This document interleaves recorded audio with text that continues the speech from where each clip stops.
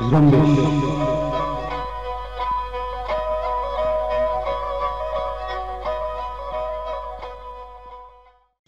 जम्बिश के हफ़्ता 25 अप्रैल साल 2020 के उर्दू न्यूज़ बुलेटिन के साथ मैं हूँ हमेरा बलोच।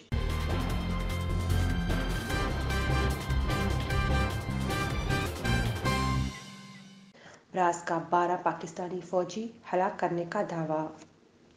कोरोना के वायरस की पहली ट्रायल नाकाम। बलोच कौम सवीन महमूद का कर्जदार है। कौम उसे बलोच का खिताब देती है, मामा कदीर। बलोचिस्तान में खूनी शाराओं ने मजीद चार जिंदगियाँ निकल ली। ये थी अहम खबरों की सुर्खियाँ।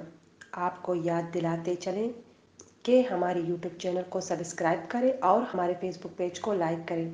जहाँ आप बलूचिस्तान समेत इलाके और आलमी सूरत से बाखबर रह सकते हैं। आइए बुलेटिन के पहले हिस्से में बलूचिस्तान से मुतल खबरें सुनते हैं। सारिन बलोच की जुबानी।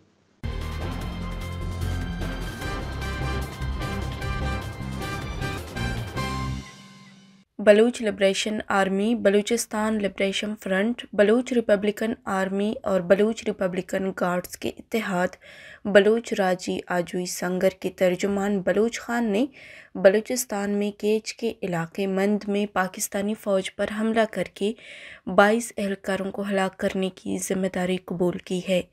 बलूच खान ने मीडिया में तफसीलात जारी करते हुए कहा है कि ब्रास के सरमाचारों ने मंद के इलाके, चुकाप और शिराज के दरमियानी पहाड़ी इलाकों में बेक वक्त पाकिस्तानी फ़ौज के एक काफ़िले और शिराज पहाड़ पर कायम फ़ौज के चेक पोस्ट को घेरे में लेकर हमला कर दिया। हमले में बारह फ़ौजी एहलकार मौके पर हलाक और मतद ज़ख्मी हुए, जबकि काफ़िले के फ़ौजी गाड़ियों को तबाह कर दिया गया। तर्जुमान का मज़ीद कहना था कि मज़कूरा इलाके समेत पूरे केच में पाकिस्तानी फ़ौज गुज्त एक हफ़्ते से अपने ऑपरेशन में तेज़ी लाकर बलूच नसल कशी में मसरूफ़ है। जिस फ़ौजी काफ़िले को निशाना बनाया गया, वो इसी ऑपरेशन में शरीक होने जा रही थी। इन ऑपरेशन के दौरान आम बलूच शहरीों को निशाना बनाया जा रहा था। बलूच खान ने कहा है कि उनकी इतलात के मुताबिक मस्कुरा ऑपरेशन में जराम पेशा अफराद के ग्रोह, नाम, नहाद, डेथ स्कॉट और मजहबी दहशत गर्द जमात के कारिंदे दुश्मन फ़ौज के हमरा थे। एक और बलूच मज़ाहमती तंजीम लश्कर बलूचिस्तान के तर्जुमान लवंग बलूच ने कहा है कि बुध की रात उनके सरमाचारों ने बुलेदा के इलाके में एफ़ सी की गश्ती टीम पर हमला करके काबिज फोर्सेस को भारी जानी और माली नुकसान पहुँचाया। लवंग बलूच ने हमले की ज़िम्मेदारी कबूल करते हुए कहा है कि इस तरह की कार्रवाइयाँ आइंदा भी जारी रहेंगी। Voice for Baloch missing persons के वाइस चेयरमैन मामा कदीर बलूच ने इंसानी हकूक़ के कारकुन सबीन महमूद की पाँचवीं बरसी के मौके पर कहा है कि अजीम कुर्बानी पर बलूच कौम की जानब से शहीद सबीन को बलूच का लकब पेश करता हूँ। मामा कदीर बलोच ने कहा कि शहीद सबीन महमूद इंसानी अलमिये से दो चार लहू रिश्ते बलूचिस्तान की आवाज़ बने और बलोच की आवाज़ बनने और इस हवाले से मुजरमाना खामोशी तोड़ने के पादाश में हमेशा के लिए खामोश किए गए। मामा कदीर ने कहा कि सबीन महमूद बलूचों के एक हीरो हैं और इस धरती में कहीं भी बलूच आबाद हैं। जब अपने हीरों को याद करते हैं तो वो सबीन महमूद को भी ज़रूर याद करेंगे कि जिन्हें रियासत पाकिस्तान ने 24 अप्रैल साल 2015 को हमसे जिस्मानी तौर पर हमेशा के लिए जुदा किया, जिसकी खला को न सिर्फ़ हम आज तक महसूस कर रहे हैं, बल्कि पाकिस्तानी सोसाइटी सबीन महमूद जैसी पाक रूह के लिए हमेशा तरसती रहेगी। उत्थल में आरसीडी शाहरा पर कुराड़ों के करीब तेज़ रफ्तार ट्रॉलर की टक्कर से कार में सवार चार अफराद मौके पर हलाक, जबकि एक छः साल बच्चा शदीद ज़ख्मी हो गया है। हलाक होने वाले तमाम अफराद का ताल्लुक एक ही ख़ानदान से है। बेसमा के इलाके पर बिजार के मकाम पर तेज़ रफ्तार कार उलटने से एक बच्चा समेत दो अफराद मौके पर हलाक, जबकि मतद अफराद ज़ख्मी हुए। हादसा तेज़ रफ्तारी के बायस पेश आया। अंजीरा में जहरी क्रास के मकाम पर ऑल्टो कार उलट जाने से मतद अफराद ज़ख्मी हुए, जिनमें बच्चे और ख़वान भी शामिल हैं। लसबेला में मकरान कोस्टल हाईवे कुंड मलेर के करीब ग्वादर से कराची जाने वाला ट्रॉलर मोड़ काटते हुए उलट गया, जिसमें एक शख्स हलाक हुआ है। नोशकी में आरसीडी शाहरा पर अहमदवाल के करीब सर्फ गाड़ी उलटने से एक शख्स ज़ख्मी हुआ। सिब्बी में हाजी शहर के करीब तेज़ रफ्तारी के बायस गाड़ी उलटने से बारह अफराद ज़ख्मी हुए हैं।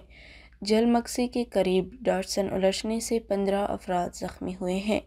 उस्तम मोहम्मद में गैरत के नाम पर एक शख्स ने अपनी बीवी को कत्ल कर दिया है। बलूचिस्तान में कोरोना वायरस का एक और मरीज़ जान की बाजी हार गया है। तर्जुमान सिविल अस्पताल कोयटा के मुताबिक 24 अप्रैल साल 2020 को सिविल अस्पताल कोयटा के senior dispenser coronavirus control room की हाजी दिलावर खान कोरोना वायरस के मर्ज़ के बायस वफ़ात पा गए हैं। हाजी दिलावर खान की वफ़ात के बाद बलूचिस्तान में हलाकतों की मजमू तादाद नौ हो गई।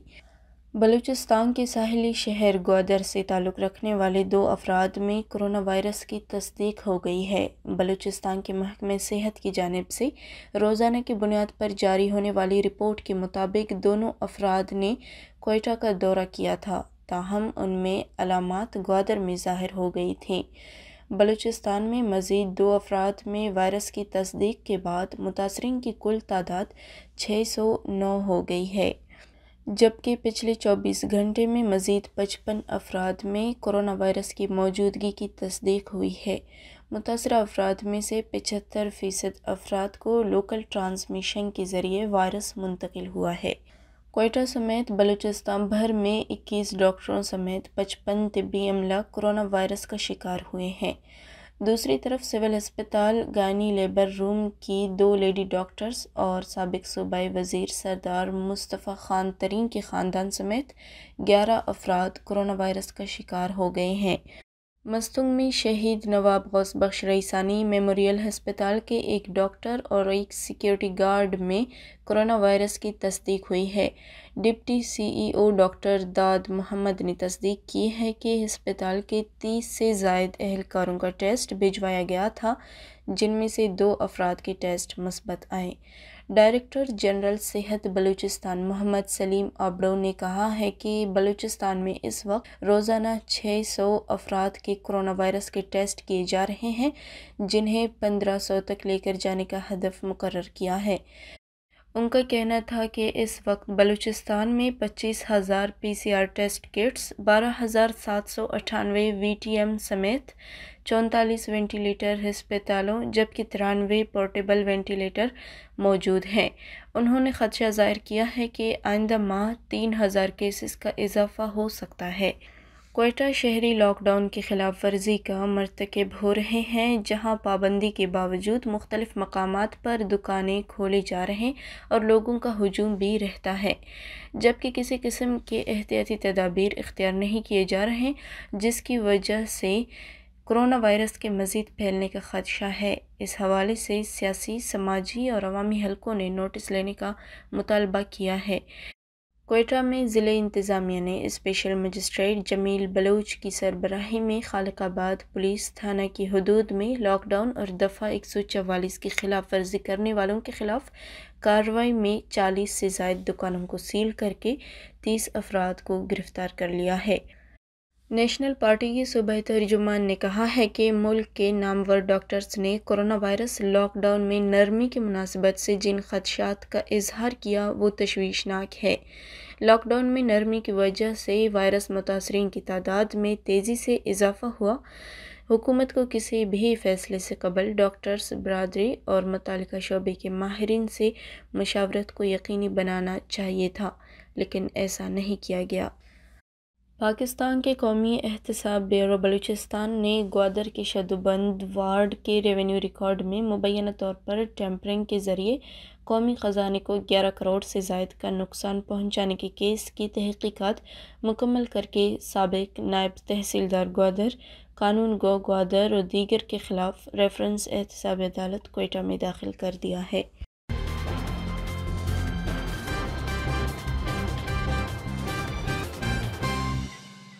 इलाके और आलमी खबरें सुनते हैं खलील वाडिल्ला की ज़ुबान।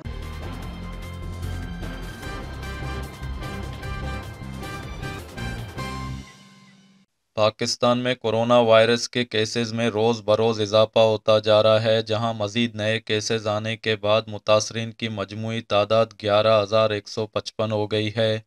जबकि तेरह नए अमवात के साथ कोरोना वायरस से अब तक हलाकतें दो सौ सैंतीस हो गई हैं, जबकि दो हज़ार पाँच सौ सत्ताईस अफराद सेहतयाब होकर घरों को मुंतकल हो चुके हैं।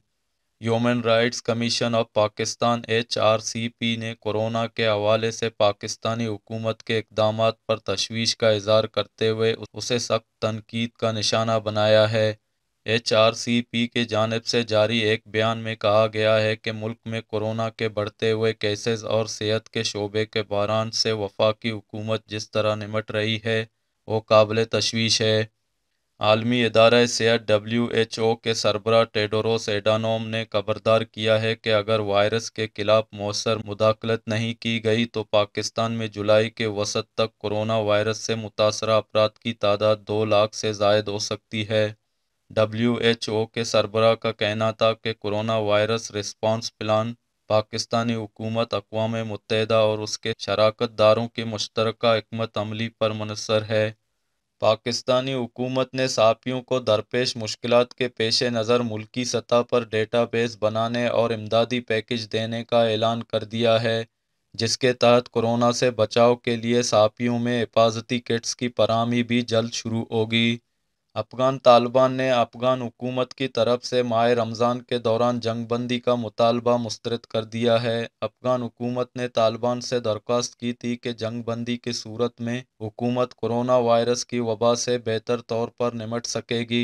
दूसरी तरफ़ तालिबान रहनमा सोहेल शाइन ने कहा है कि अमरीका से तय पाने वाले माहदे में क़्याम अमन के लिए एक फ्रेम वर्क तय किया गया है। और अकवा मुतहदा की सलामती कौंसल और बैन अवी बरदरी भी इसकी तायद कर चुकी है।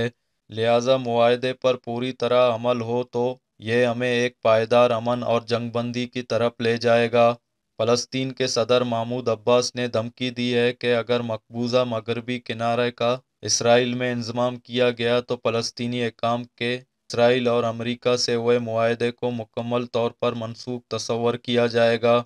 उन्होंने फ़लस्तनी टीवी से गुफ्तु में कहा है कि हमने अमरीका और इसराइली हुकूमत समेत मुतल बैन अवी परिकेन को आगाह कर दिया है कि अगर इसराइल ने हमारी ज़मीन के किसी हिस्से का इंजमाम करने की कोशिश की तो हम हाथ बांधे नहीं खड़े रहेंगे। शाम में इंसानी हकूक़ के लिए काम करने वाले group Syrian observatory for human rights ने जुमेरात के रोज़ बताया है कि शाम में तुर्क नवाज़ मलेशियाओं के जेर कंट्रोल इलाके रासलैन के अल एरास और अल आमरिया के मकाम पर होने वाले बम धमाकों के नतीजे में मुतहद अफराद हलाक और ज़ख्मी हो गए हैं।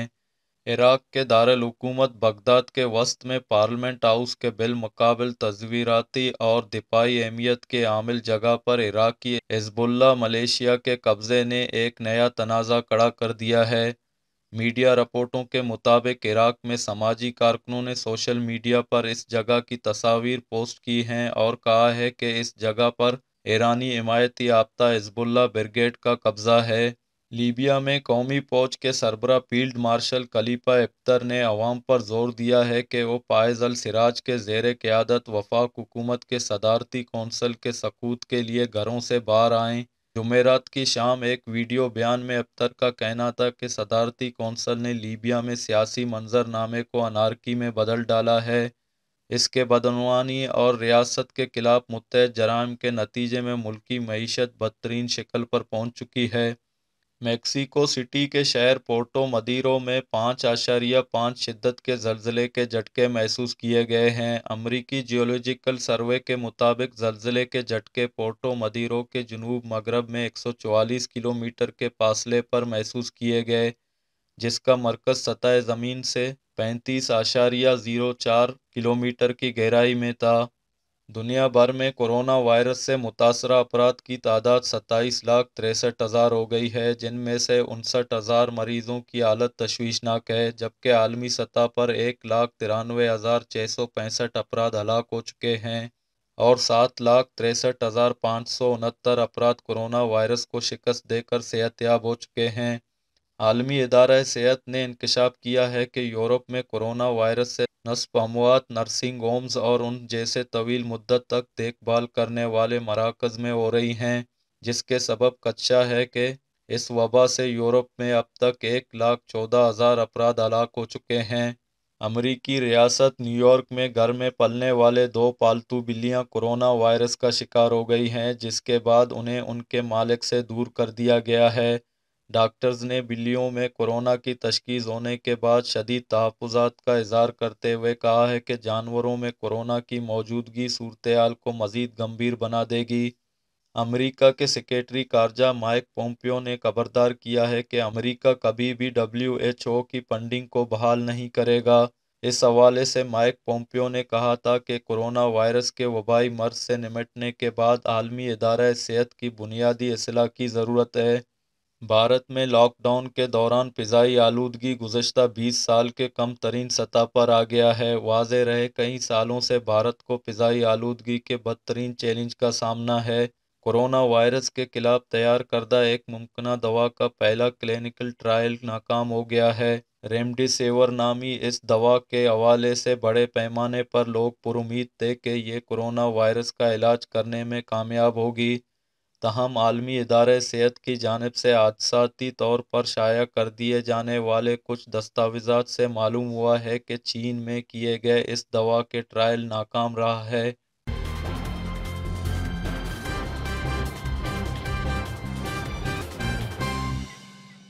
ये थे खलील वाडिल्ला बलोच। इसी के साथ हमारे आज की न्यूज़ बुलेटिन ख़त्म होती है। हमेरा बलोच समेत रेडियो जुम्बिश की तमाम टीम को इजाज़त दीजिए।